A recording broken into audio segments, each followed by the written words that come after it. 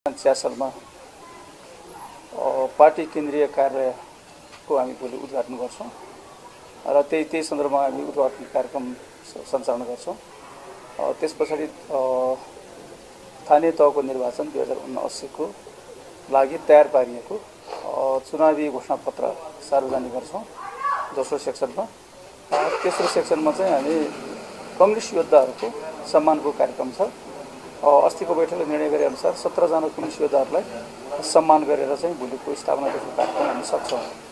पहिलो एजेन्डा यो हो। दोस्रो एजेन्डा चाहिँ अब चाहिँ यो वैशाख तिस गते सम्पन्न हुन गइरहेको स्थानीय तहको निर्वाचनको लागि नेपालको चाहिँ छवटा महानगरपालिकाहरू र एघारवटा उप महानगरपालिकाहरूको उम्मेदवारको चयनको चाहिँ सन्दर्भमा हामी सफल चलाएका छौँ।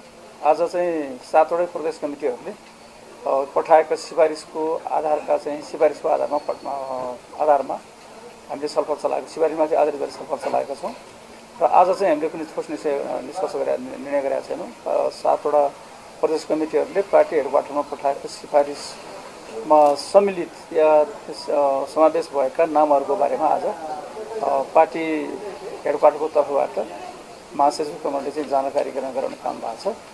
र त्यसको बारेमा चाहिँ फैसला हामी चाहिँ पर्सि हुने चाहिँ बैठक पर्सि जेठ वैशाख दस गते तिन बजे यही बालकोटमा हुने बैठकले छवटा महानगरपालिका उम्मेदवारको चाहिँ प्रमुख उपप्रमुखको र एघारवटा उपमहानगर नगरपालिकाको उप प्रमुख उपप्रमुखहरूको निर्णय गर्छौँ हामी। त्यहाँ चाहिँ अरू अरू चाहिँ परिवर्तन हुने स्थिति होइन नि।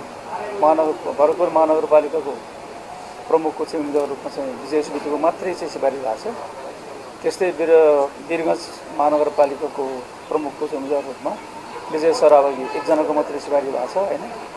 अनि ललितपुर महानगरपालिकाको प्रमुख रूपमा चाहिँ हरिकृष्ण व्यञ्जनकार एकजनाको मात्रै नाम सिफारिस भएको छ। अरू चाहिँ पालिका महा महानगरपालिका उपमहानगरपालिकाका प्रमुख उपप्रमुखहरूमा धेरैजनाको नाम नाम छ।